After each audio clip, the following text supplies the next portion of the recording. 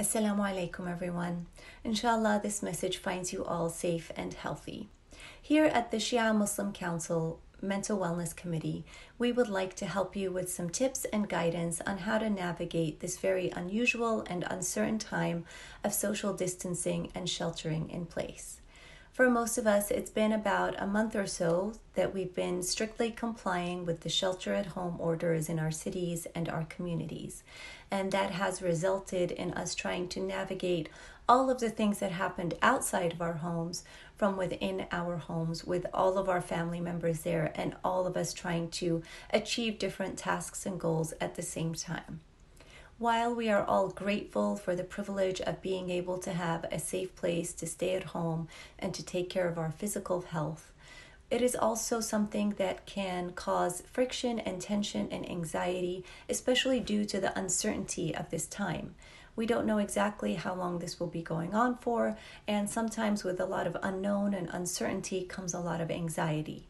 So, I'd like to share some advice with you to help reduce some of the uncertainty and anxiety that you might be feeling. My first tip would be to get up and get ready every day. Now, before, when we had a day off, we might want to stay in our PJs or comfortable clothes because we want to have that downtime and that signaling to our brain that it's a day to relax. We need that same signal to happen at the moment. Some physical way to help us transition from the relaxed part of our day to the functional or the uh, goal oriented part of our day. So, even though you don't need to be dressed in your traditional work clothes, you don't have to put on a suit and a tie or something formal. Just getting yourself ready for a few minutes in the morning helps you to feel ready to achieve whatever goals are on your to do list for that day and changes your mindset, makes you feel better about yourself. The next thing related to that would be to create some type of schedule. Now, I'd like you to be very careful with routines and schedules and timetables because sometimes we can become very attached to them, and that actually creates more anxiety.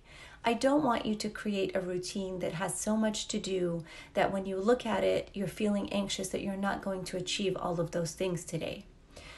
Set some goals that are realistic and achievable. And if one of those things on the list doesn't get done, it's okay. It can be moved to the next day.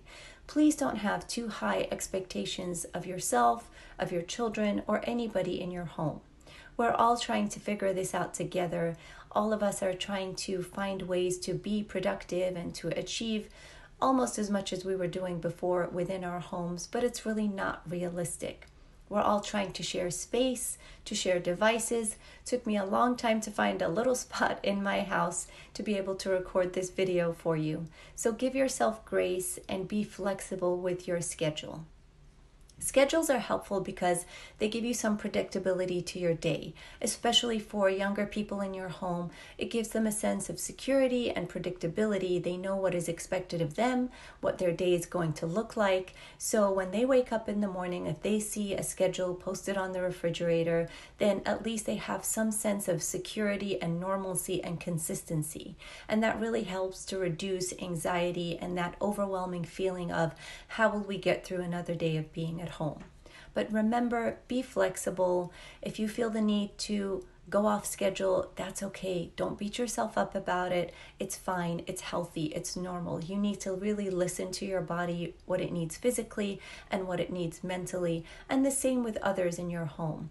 When you feel like your children need to step away from schoolwork, when you need to step away from work, when you need to step away from the housework, let yourself do that don't put too much pressure on yourself and overwhelm yourself. You really need to take care of yourself so that you can avoid burning out and not feeling so depleted that you can't continue the next day.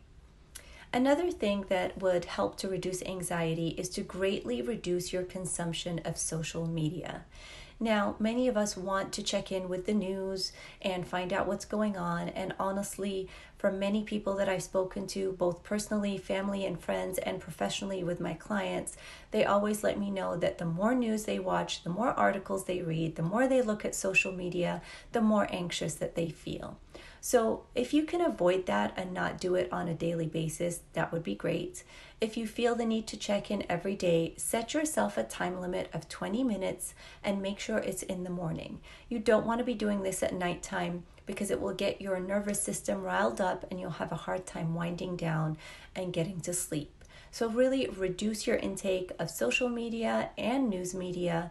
Follow the guidelines of the CDC to make sure you're protecting your health. But other than that, really try to avoid consuming all of these frightening statistics and negative stories that are around us all the time.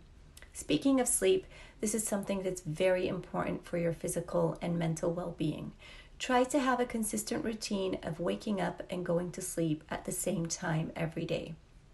When you go to sleep, your body is essentially healing itself, renewing cells, and helping the immune system to strengthen. So try not to skimp on sleep. It may seem that you don't need to wake up and go to sleep at a consistent time since you don't have to be anywhere, but it again helps with that sense of normalcy and routine in the home and helps you get the rest that you need so that the next day you can get up and tackle the tasks that you need to do. Hopefully, you found these tips helpful, and we'll be back soon to share some more advice on how to navigate this time. Until we meet again, Assalamu alaikum.